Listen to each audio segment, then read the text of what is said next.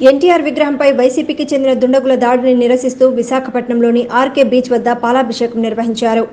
AP TNSF రాష్ట్ర అధ్యక్షుడు MV Pranav Gopal మాట్లాడుతూ వైసీపీ పాలనలో ఆంధ్రప్రదేశ్ రాష్ట్రంలో విధ్వంసకర పాలన కొనసాగుతోందని ప్రజా వేదిక వద్ద నుండి నేటి ఎన్టీఆర్ విగ్రహాలు పగలగొట్టే దాకా నేటి ఎన్టీఆర్ విగ్రహాలు పగలగొట్టేదాకా రాష్ట్రంలో అరాచక పాలన రాజ్యమేలుతోందని రాష్ట్ర డీజీపీ కూడా పక్షం చేస్తే ఒకలాగా ప్రతిపక్షాలు చేస్తే మరొకలాగా స్పందిస్తూ పక్షపాత వైఖరి అవలంబిస్తూ రాష్ట్రంలోని శాంతి భద్రతలకు విఘాతం కలిగేలా వ్యవహరిస్తున్నారని పట్టపగలు నందమూరి తారక రామారావు విగ్రహం వైసీపీ గుండాలు పగలగొడుతుంటే పోలీసులు ఏం చేస్తున్నారని డీజీపీని ప్రశ్నించారు.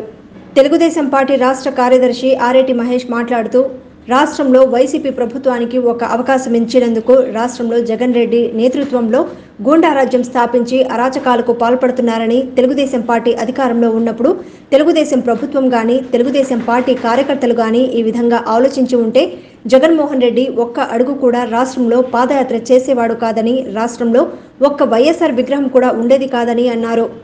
కుల మతాల మధ్య చిచ్చురేపి కుటిల రాజకీయాలకు పాల్పడుతున్నారని ఇటువంటి రాజకీయాలకు భవిష్యత్తులో ఆంధ్రప్రదేశ్ ప్రజలు చర్మగీతం పాడే రోజు దగ్గరలోనే ఉందని అన్నారు. ఈ కార్యక్రమంలో ఏపీ టీఎన్ఎస్ఎఫ్ రాష్ట్ర వైస్ ప్రెసిడెంట్ కార్తీక్ రాష్ట్ర ప్రధాన కార్యదర్శి ఆకర్ష్ విశాఖ టీఎన్ఎస్ఎఫ్ పార్లమెంటరీ అధ్యక్షుడు S. Ratan Kanth Visakha parliamentary general secretary Josh vice president Avinash తదితరులు పాల్గొన్నారు. పట్టబగలే దాన్ని కూల్చడానికి ఏదో ప్రయత్నించడం దాన్ని తెలుగుదేశం పార్టీ టీఎన్ఎస్ఎఫ్ తీవ్రంగా ఖండిస్తుంది.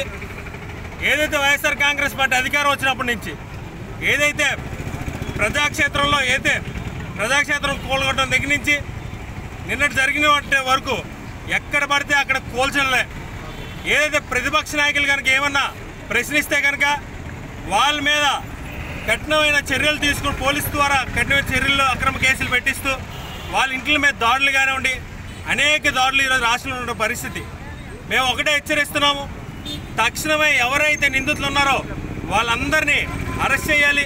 లేని పక్షంలో భారీ ఎత్తున ఉద్యమం చేస్తాము. వెంటనే అక్కడ అన్న నందమూరి తారక రామారావు గారి కాంస్య విగ్రహాన్ని కూడా ఏర్పాటు చేయాలని ఇందు మూలంగా తెలియజేస్తున్నాం రైట్